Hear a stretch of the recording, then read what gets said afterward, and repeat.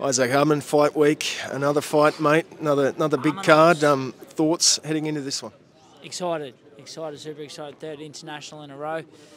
Mexican, um, yeah, I'm pumped for this one. This will be a cracker. What do you know of this guy? I know he's got a walk-up style. He's an Olympian. Um, 15 and 1, 12 knockouts, so he can punch. Um, yeah, that's about as far as I've seen one video of him on his Instagram tag videos. I went for a deep dive and search like we all do. Anyone that says they don't study or look is a fucking liar.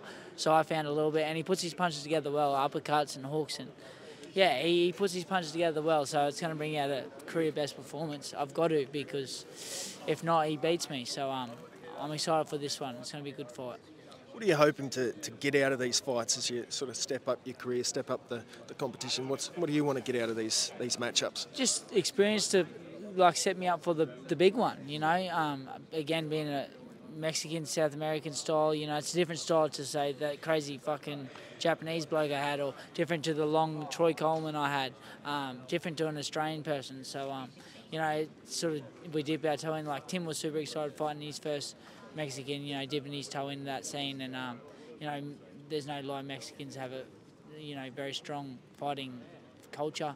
Um, and it comes with that little bit of oh fuck he's Mexican he's going to be tough. So yeah get over that um, punch his head in and then we tick that box you know? So that's that's what I'm trying to get out of it. Experiences got that world ranking as well. Um, what's the sort of what do you see as the path um, to the top for yourself? Yeah Matty just said I'll go number five when I beat this bloke so um, the WBO so good names in there. Number five just being able to lobby better names but um Mate, there's a few more fishes swimming around in the Australian middleweight yard now, so pond, I should say, if they're fishes. Um, you know, Brock Jarvis, I spoke to him last week at the open workout, and he's friendly to me. I'm friendly. I commend him for stepping away from Jeff Fenech and losing all his sponsorships, and and we're having a bit of a chat. And I said, "Oh, who are you eyeing off? I think he should be a super welterweight, not a middleweight." He doesn't know yet either, but he said, "Oh, I'm eyeing you off." I thought I didn't say anything at the time, but I thought jokingly he was saying, but that was probably a little bit to it.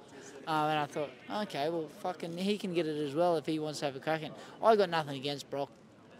Um, again, I commended him for what he did, but I'll fight him in a heartbeat because that's a cakewalk, I think. Um, no disrespect or disrespect, I don't give a fuck how you take it, but I beat him. And then there's Andrei Mikhailovich. He's just been signed to um, No Limit as well. He somehow got, he's fighting a world title eliminator against um, that Radnov, who's just a little bit worse than he is, so he'll probably beat beat Radnov, and then he fights Janibek, and then Mateo Tapia. There's imagine Jarvis, Mikhailovich, Mateo for world title eliminator. That's a good run. I reckon that's a good run. You know, and you know Mateo's got a WBA ranking, and if he comes down to middleweight, those rankings will come down, and that'll get me slotted into a WBA section of body, and then the winner could get a fucking world title against Zerafa. You know. It's all just happening right fucking now for me, so you never know. Got it all mapped out. Yeah. Um, just on Zerafa, a, a, big fight for him in a, a three weeks' time. Um, yeah. Overall thoughts on, on his fight? Massive fight, and good on him for waiting it out. He shows some patience.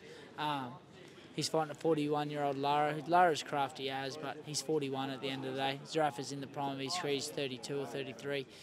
That's when you hit your straps as a boxer, so I'd back myself against nearly any 41 year old in the world. It's a young man sport, boxing. Um, so I think he gets up and gets the job done, and good on him. I just want Tim Tszyu to stay the fuck away from the middleweight division and not go up and take that, that, that belt from him because he would. I think Tszyu beats Zerafa, um, but Tszyu stay down super welterweight. Zerafa win that title.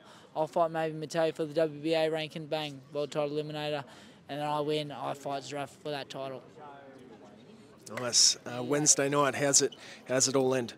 Mate, I've got 15 wins with 13 knockouts. He's got 15 wins with 12 knockouts. I think it's fair to say someone's getting knocked out come Wednesday night. And I'm, I'm tipping the fucking Vegemite toast to beat the fucking Mexican burrito. Beauty. Good luck, man. Thanks, mate.